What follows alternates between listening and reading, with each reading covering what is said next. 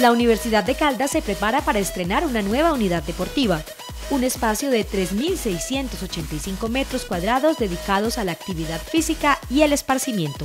El próximo 13 de febrero a las 9 de la mañana inauguraremos una de las unidades deportivas de la Universidad de Caldas.